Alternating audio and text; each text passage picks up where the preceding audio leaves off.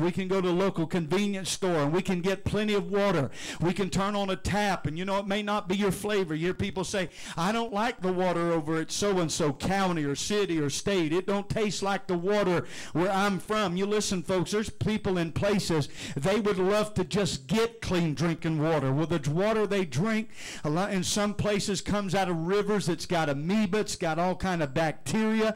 Some of it it gets in their body and they get parasites, they get sick, they die. And so what I'm trying to say is here in America we're so blessed and don't even realize how blessed that we are.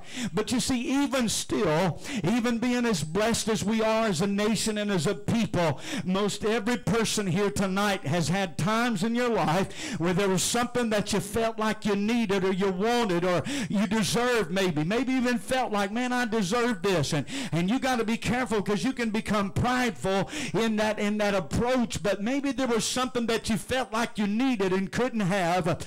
And uh, you felt, man, you know, what's wrong with me?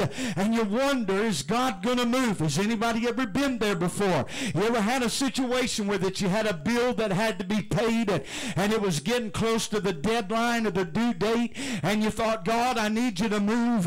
And the deadline comes and then the deadline goes and you still don't have the money. And the next thing you know, you get your cell phone turned off. Anybody ever had your cell phone turned off here? Anybody? You know, if you don't have to raise your hand, anybody ever had your electric turned off before?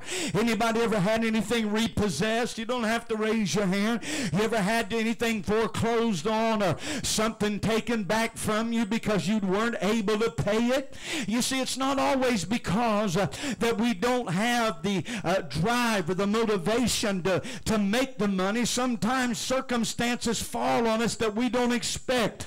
You see, during this uh, downturn of the economy a few years ago, folks, there are people that had perfect credit, who had good jobs. They were good, faithful people. They didn't miss a payment on anything. But you see, hard times fell on them, and you know what happened? They fell behind a week here. They take money from this check to pay for that thing. And before you know it, uh, amen, a year, two years goes by, they're so far behind, uh, they lose a house that they have worked years to be able to have. They fall behind and they, they lose a car that they've almost got paid off.